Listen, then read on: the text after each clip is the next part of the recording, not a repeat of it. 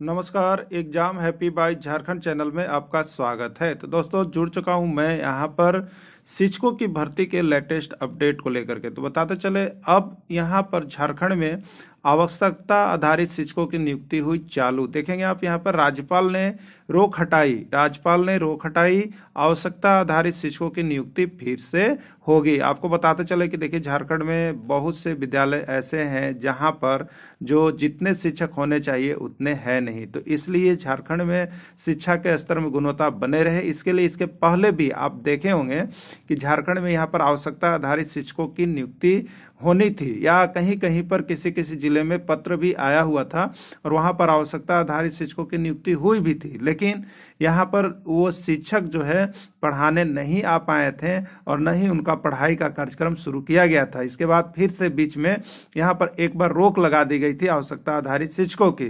तो अब बताते चले, इसी रोक को यहाँ पर राज्यपाल की तरफ़ से हटा दिया गया है और विभिन्न ज़िले को यह निर्देश भेज दिया गया है कि जहाँ पर भी जैसे लगता है, जितने शिक्षकों की आवश्यकता है, जिस जिस विद्यालय में इसका रिकॉर्ड मेंशन सो है, यहाँ पर प्रधानाध्यापक की तरफ़ से किया जाएगा और उस स्कूल में, उस विद्यालय में उतने ही आवश्यकता आधारित शिक्षकों की नियुक्ति होगी।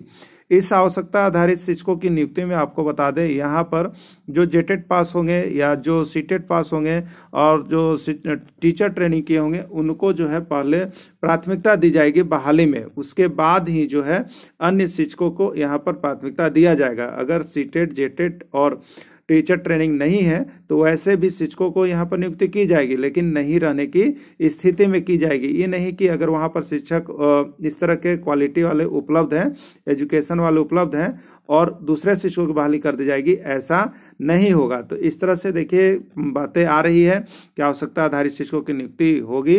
देखते हैं कितना जल्द और कब से यह नियुक्ति हो सकती है, क्योंकि बातें तो बहुत कुछ आते ही रहती है, लेकिन अब देखना होगा कि कब से यह प्रक्रिया प्रारंभ होती है। धन्यवाद।